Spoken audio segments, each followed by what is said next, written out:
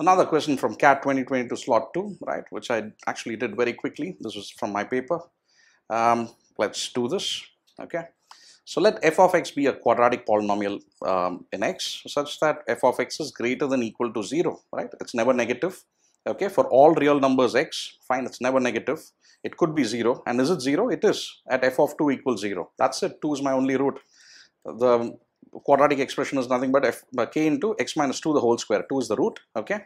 And uh, f of 4 is 6 so therefore if I plug in a 4 over here I'm going to get a k into 4 minus 2 2 square equals 6 k over here is going to be 6 by 4 or 3 by 2 I found that.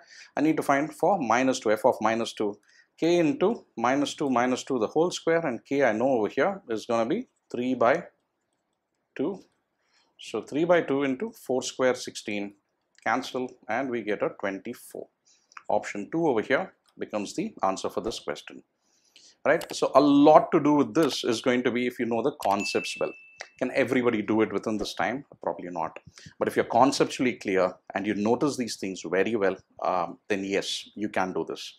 How long did I actually take to solve this? Took about, I, I did do it quickly, but I just wanted to be doubly sure, right? That tends to be there. I don't want to make silly mistakes.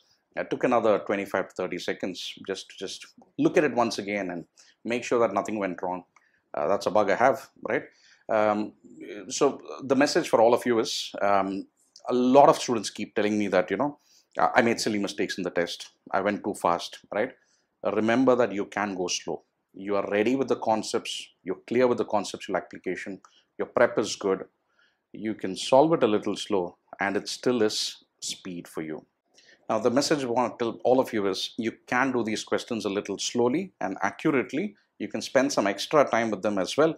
But when your prep is good, when you're conceptually ready, and yes. So please do uh, go through the speed concepts part at mockat.com. That's something where we put in a lot of effort to make sure that, you know, if you know that part well, you're pretty much ready for the quant section. And do subscribe to the channel in case you haven't and click on the uh, link in the description below and log in at mockat.com for free.